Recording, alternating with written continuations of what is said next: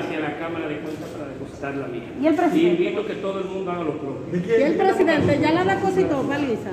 La declaración jurada de bienes, esta es la tercera que yo, perdón, esta es la tercera que yo realizo. Realicé una como diputado, luego como senador y ahora como, como ministro administrativo de la presidencia, en la condición que me ha tocado. Y está ahí para que estará colgada para que todo el país la pueda conocer, la pueda ver.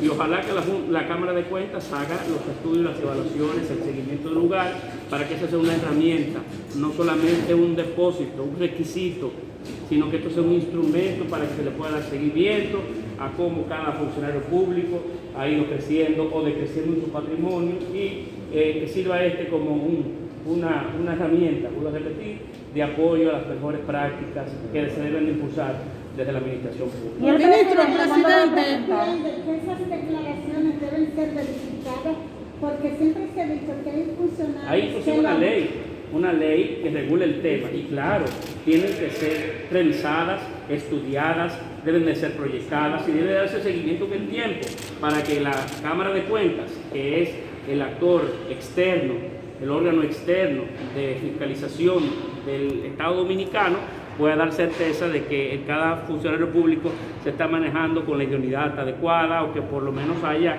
la regulación de, que, de que haya una supervisión sobre cada uno de nosotros.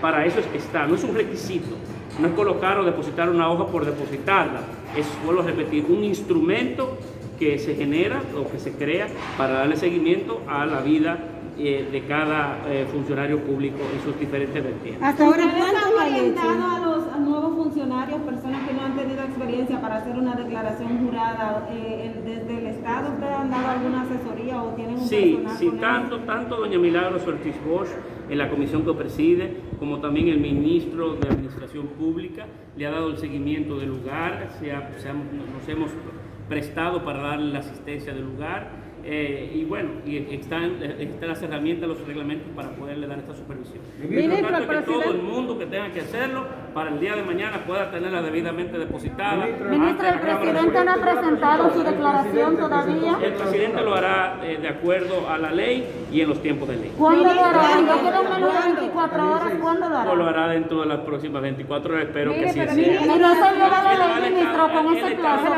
El presidente Binader es un hombre ajustado a la ley a la transparencia, a las mejores prácticas. Es una, vida, una persona cuya vida ha sido muy pública, la de de su familia, que se conoce de su patrimonio porque la gente sabe del recorrido que ha tenido esa familia dentro del ámbito empresarial.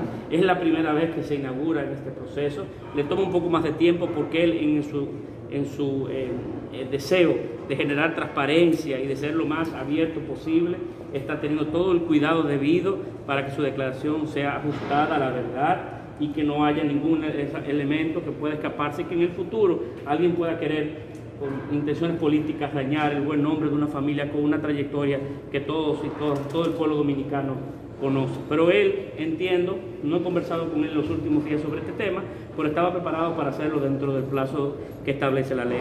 ¿Se mantiene la orden de que van a ser sancionados, suspendidos el que no la presente el próximo, ya el día 15? eso es una prerrogativa del señor presidente eh, ha habido algunas, algunas dificultades por las plataformas tecnológicas. Yo mismo la tuve en una oportunidad que no podía accesar a la misma.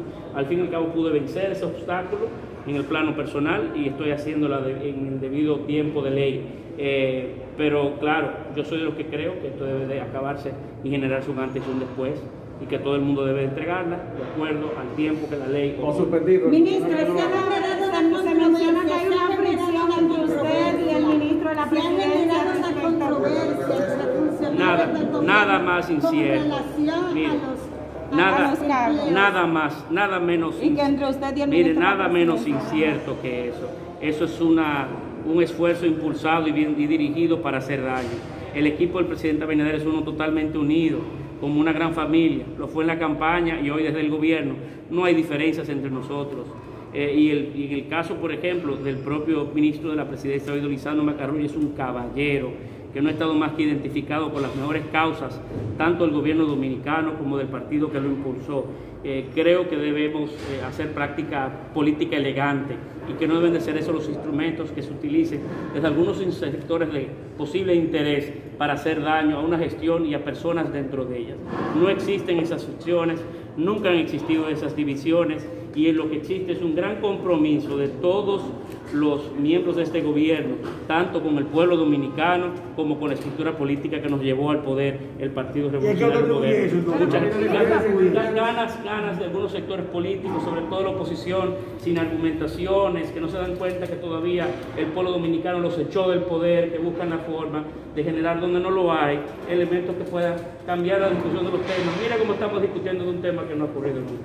La decisión del Comité Nacional de Educación, ministro, la decisión